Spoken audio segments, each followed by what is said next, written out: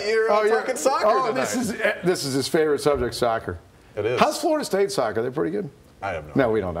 Look at Sewell. He's like, really? Soccer? Orlando City soccer fans are waiting for the third season in MLS to start. It feels like the Lions have been training uh, since the holidays. Uh, It's been that long, it seems like. They continue to work towards the season opener in a brand new soccer only stadium March 5th. The first two seasons, not good.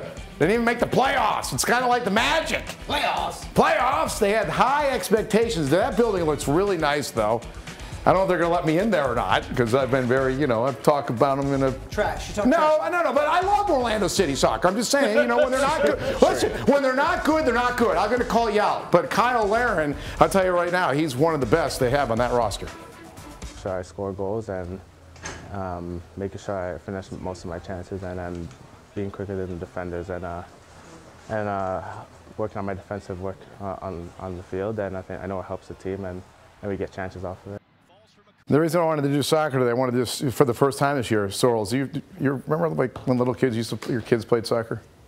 Like when they were this tall? It's kind of net they used, Right. right? Exactly. Upward. hmm Henry, uh, Leitz's kid's probably playing soccer now, right? Yeah, every right? Saturday. Every Saturday. Soccer shots or whatever they call it. Here's what we got.